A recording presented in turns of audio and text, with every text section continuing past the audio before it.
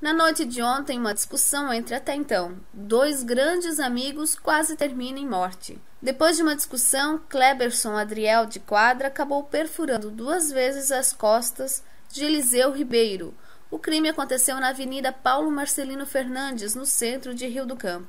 Eliseu está internado no hospital regional e, segundo o boletim médico, está consciente e não foi necessário cirurgia, porque as perfurações não foram tão profundas e Kleberson está foragido.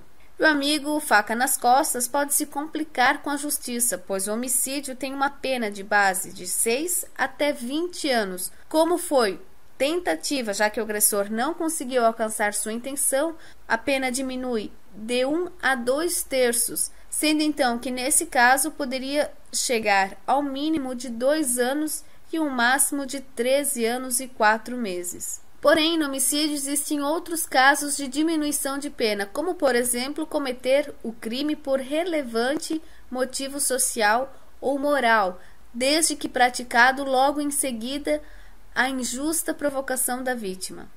Enfim, a pena varia muito conforme o caso, mas no caso de condenação nunca fica abaixo de dois anos. O trabalho da Polícia Civil é justamente investigar todos os detalhes do crime, para que depois o júri possa analisar todas as provas e decidir qual delas será aplicada ao caso, já que todo crime contra a vida, mesmo tentado, é passível de tribunal de júri.